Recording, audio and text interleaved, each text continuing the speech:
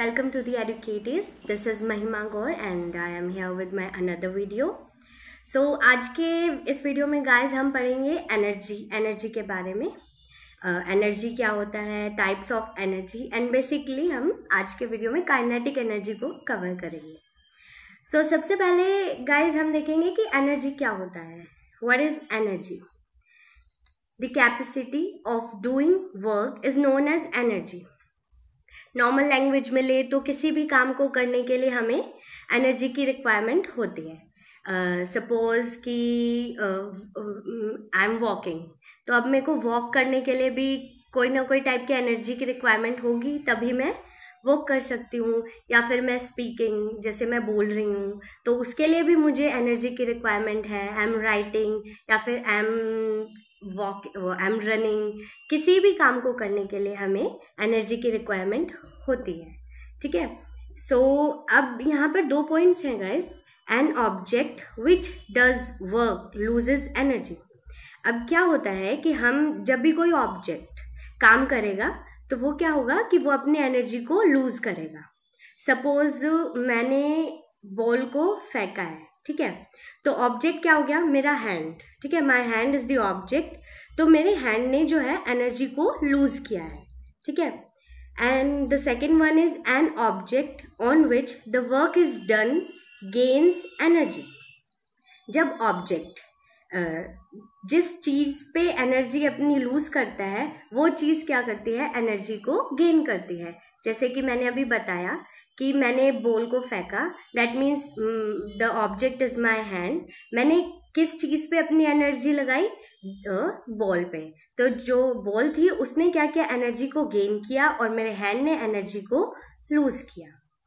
So guys what is the SI unit of energy SI unit of energy is also joule क्योंकि जब भी हम आ, किसी काम को करते हैं जैसे हमने लास्ट वीडियो में वर्क डन को पढ़ा था वर्क डन के बारे में पढ़ा था वर्क डन की ऐसा यूनिट भी जूल होती है। हम कोई भी काम यानी वर्क डन तभी होगा जब हमारे पास एनर्जी होगी उस काम को करने की। तो वर्क डन की जो ऐसा यूनिट थी वो भी जूल थी और एनर्जी की ऐसा यूनिट भी जूल ही होगी।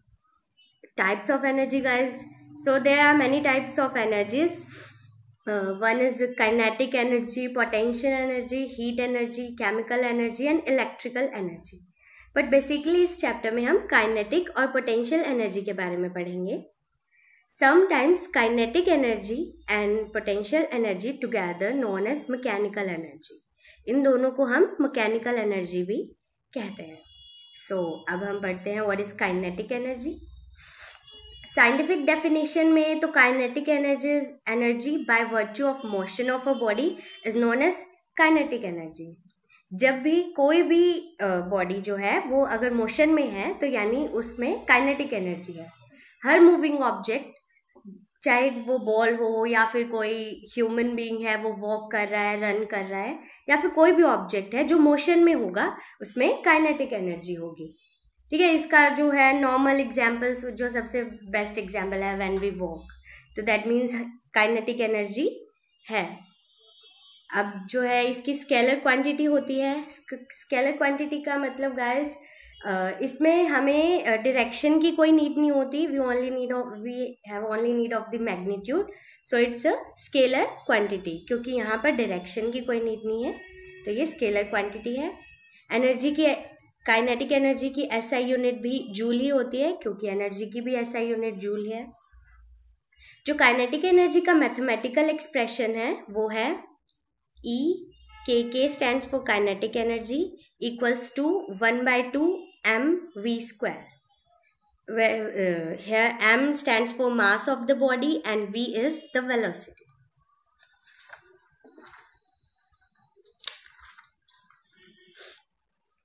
some examples of kinetic energy guys अब यहाँ पर हम देखते हैं कुछ एग्जाम्पल्स जैसे कि है मूविंग कार जब भी कोई कार मूव कर रही है. अब कार अगर स्लोली मूव कर रही है तो इसमें क्या होगा? The car is doing very less work because it take so much time to reach its destination क्योंकि एनर वो सॉरी जो है वर्क डन बहुत लेट होगा क्योंकि कार जो है वो बहुत ही स्लो मूव कर रही है.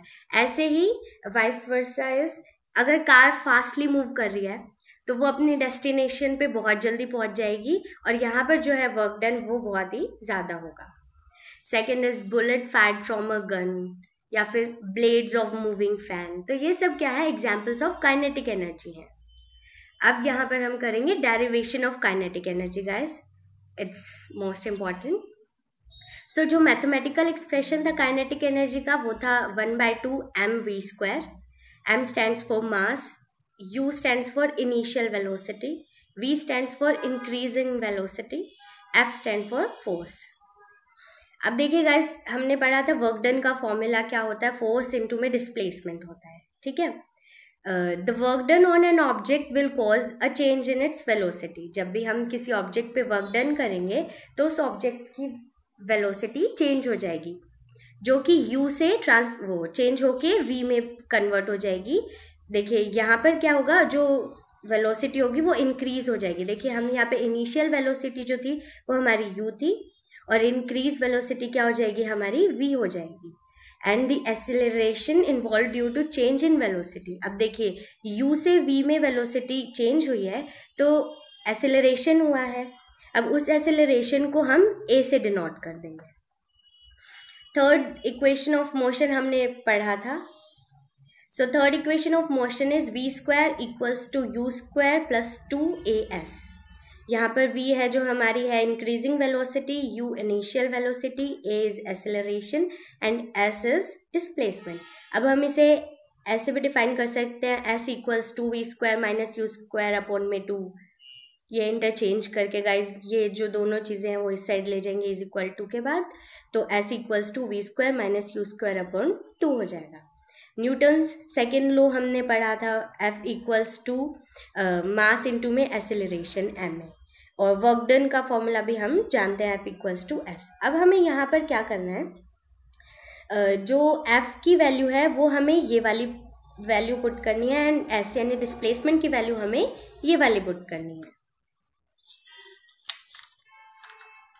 तो वर्क डन क्या था? वर्क डन का फॉर्मूला होता था फोर्स इनटू में डिस्प्लेसमेंट फोर्स की, जैसे हमने अभी देखा, Newton's second law of motion में था एम ए हमें यहाँ पर फोर्स की एम ए वैल्यू पुट करनी है, और डिस्प्लेसमेंट की V square minus U square upon में टू ए अब देखिए गाइज़ ए से ए कट कट हो गया, और one by two M into में V square minus U square ये हमारी इक्वेशन बच गई अब हम अज्यूम करते हैं कि जो ऑब्जेक्ट है इनिशियली वो रेस्ट पे था। ठीक है इनिशियली रेस्ट पे था दैट मीन्स जो हमारी इनिशियल वेलोसिटी थी यू वो अब हमारी क्या हो जाएगी ज़ीरो तो वर्क डन हमारा क्या होगा? यू की वैल्यू अगर ज़ीरो है यहाँ पर तो वर्क डन हमारा बचेगा वन बाई टू इंटू में एम इंटू में V square as the object at rest so the kinetic energy जो ऑब्जेक्ट जब रेस्ट पे थी तो काइनेटिक एनर्जी भी ज़ीरो थी. But doing some work on an object After that, the work done on an object, it causes change in kinetic energy of an object. देखिए guys जब work done one by two M V square था तो अब अगर work done हुआ है तो obviously जो ऑब्जेक्ट होगा उसमें भी जो चेंज होगा काइनेटिक एनर्जी में चेंज होगा तो यहाँ पर वर्क डन था वन बाय टू इंटू में एम वी स्क्वायर सो जो काइनेटिक एनर्जी में जो चेंज आएगा वो भी आएगा one by two into M into V square so hence prove ये हमारी डेरिवेशन जो है, वो प्रूव होगी, देखिए।